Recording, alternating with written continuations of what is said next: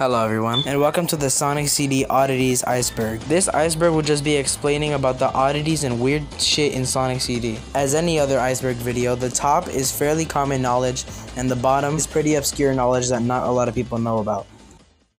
Number one is I'm out of here. This one is just talking about if you keep Sonic still for 3 minutes, he's gonna jump off the screen and say, I'm out of here. Number 2 is different soundtracks. This one is just talking about how there's different soundtracks for the Japanese and American version of Sonic CD. Debug mode. This one is just talking about how debug mode is unlockable in this game. By entering a code in the sound test, you can unlock it. It also shows a picture of Tails drawn by Yasushi Yamaguchi going by Judy Totoya. Vocals removed. This one is just talking about how the vocals were removed for the 2011 remaster of Sonic CD. Bad collision detection. This one is talking about how the collision detection was pretty bad, mostly in Collision Chaos on the Sega CD and Windows 96 ports. Unlock Tails. This one is just saying that Tails is unlockable.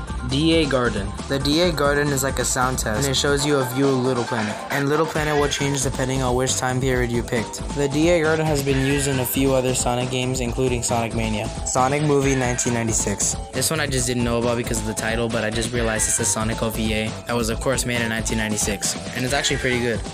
Now we're at the second part of the iceberg. This is where some common knowledge is shown, but not really a lot. Compressed FMVs. This one is about the Sega CD version and how compressed the FMVs were, basically making them look like shit. Salad Plain. That is what Palm Tree Panic was called in the betas of Sonic CD.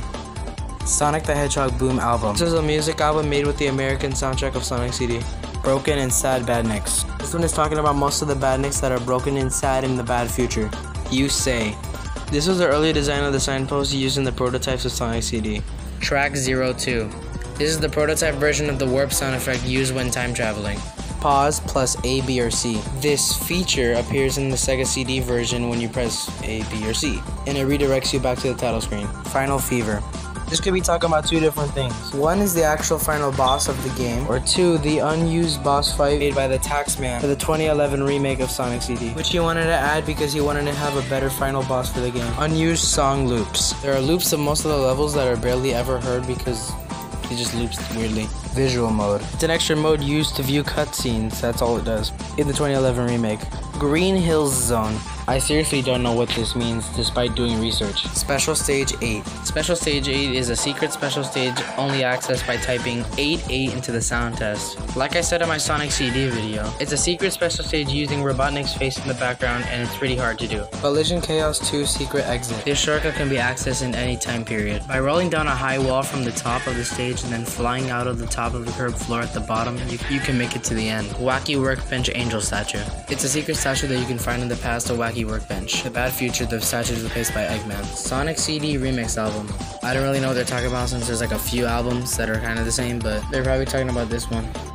We've made it to the third part of the iceberg. There's going to be a lot of uncommon knowledge in this part.